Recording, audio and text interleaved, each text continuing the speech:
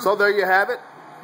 Miami Heat losing. Big blowout by the San Antonio Spurs.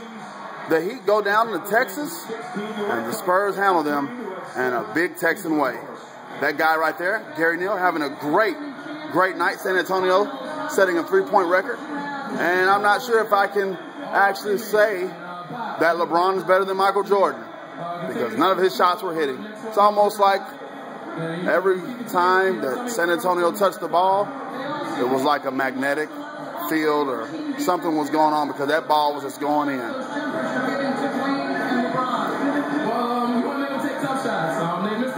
This guy had a great game, Danny Green. this game, but next thing we know, they come out differently. So um, we're not comfortable at any point defensively, but we got to continue to be active and be aggressive and get our hands on loose balls. Danny, thank you. Thank you. All right, Thomas. Just an unbelievable shooting. We'll show you some highlights here.